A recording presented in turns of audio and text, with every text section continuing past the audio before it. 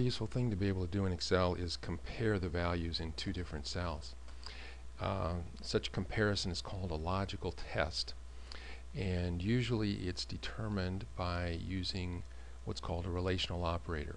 Uh, the relational operators are the, the six operators that you learned in algebra equal, not equal, greater than, less than, greater than or equal to, and less than or equal to. And um, they're all available in Excel. And what I've done here is I put a number in A1 and B1, and then I put some questions over here that I want to answer about the relationship between those two numbers. Um, the first one is, is, is A1 equal to B1? Okay, now if I just type A1 equals B1, uh, that starts with a letter. Excel interprets it as text and doesn't do anything.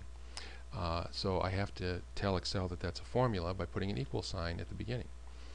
Uh, now that looks funny, but if you remember that the first equal sign is just a way of indicating that this is a formula, then what we really have in the cell is A1 equals B1.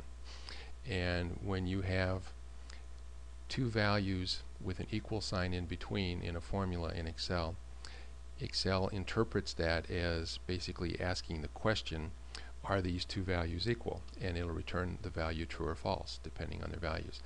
So I want to know are they equal? And they're not. Therefore Excel puts false in the cell. Uh, the next one I want to find out if A1 is greater than B1 and it's not. And Excel puts false in there.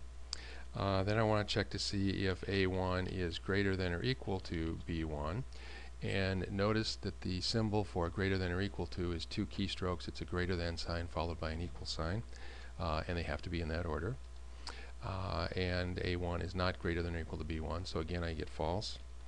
And I want to find out if A1 is less than B1 and it is and then I want to check to see if A1 is less than or equal to B1 and it is and then I want to check to see if A1 is not equal to B1 and notice that the not equal operator in Excel is a less than sign followed by a greater than sign. Um, and they have to be in that order as well. They have to point away from each other rather than pointing towards each other, otherwise you'll get an error message from Excel.